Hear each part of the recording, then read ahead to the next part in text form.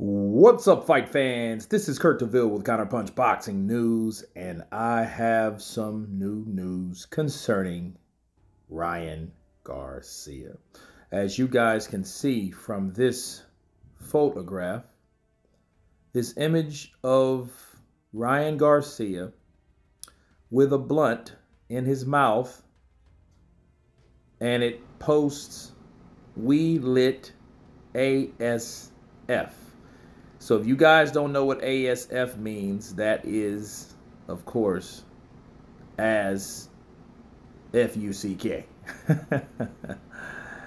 and let me counterpunch. Um, I seen the press conference today. Um, a lot of that stuff was cringeworthy, honestly. Um, Devin Haney made a good point on him being a role model him having that many Instagram followers and this is what he shows and he posts on his Instagram. You know, and I think he is setting a bad example for the youth. Because if everyone sees, hey, well, Ryan does it, why can't I? Okay, that's what it's pushing. Okay, that's all it shows. It proves that, hey, well, you know, Ryan Garcia, he's a superstar, he's a millionaire, he's young, he's flashy, he smokes weed and he drinks, and that's cool because that's what he's saying. That's what he's conveying. That, hey, this is cool, this is okay. And in the press conference, I know what he was trying to do. Like, hey, you know, praise God, you know, give honor to Jesus Christ, Lord and Savior. And then I'm like, okay. And then, of course, it wasn't the fact that he went out there and said, I drink and smoke and it's okay. He didn't say that, okay? Not in the press conference. What he was doing, he was defending himself from what Devin told him. Devin was like, hey, why don't you put the coat down because your voice sounds hoarse. And it does sound, I, I, did wonder, okay, what's going on with his voice? However, um, him saying, hey, I drink and smoke just like most people in this room. God's not done with me yet you know, um, I think that was more of a, a defensive response, okay, than an actual response needed for him to glorify that. I think he should have, hey, I don't condone this. I wouldn't recommend this to people. This is just something that I do, and this is a phase that I'm going through. God is not done with me yet. You know, I'm not proud of this. That's what he should have said, but he didn't. Okay, he was just like, well, everybody does it. Well, you know, I, I think that was a poor way of explaining yourself. You know, him trying to justify, uh, hey, yeah, I smoke, I drink, so what? For one, you have to pass a drug test. You have to pass a drug test. So, hey, I drink, I smoke weed and I drink. I'm like, okay, well, last I heard, marijuana was illegal in any athletic commission unless they change the rules. They might have, but then they might not have. Okay.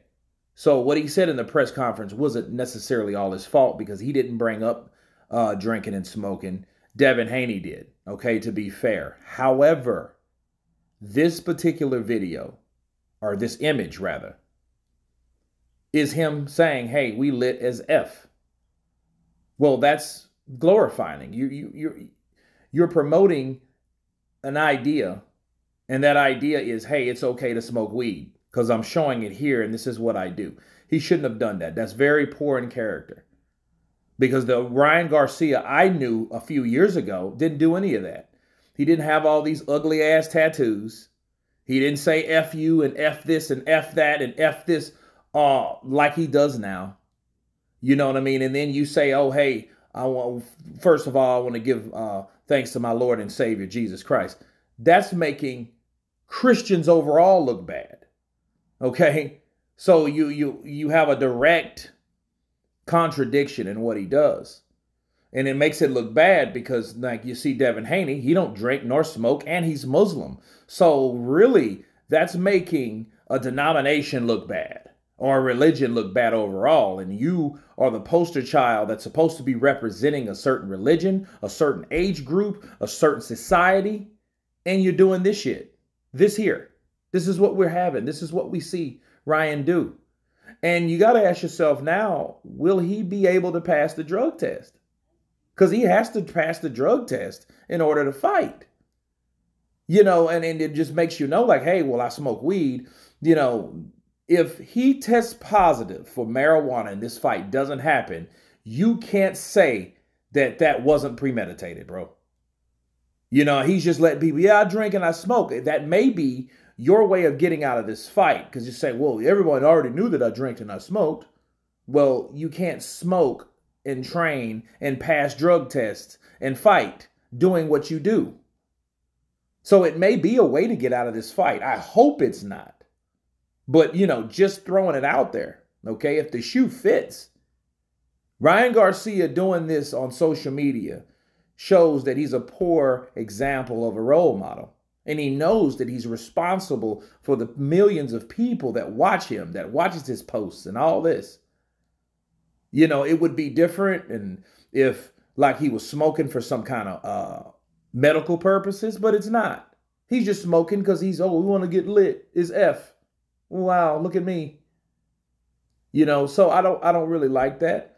Um he talks about mental health issues and things like that. Well, that does not help your mental issues. Ask Tyson Fury.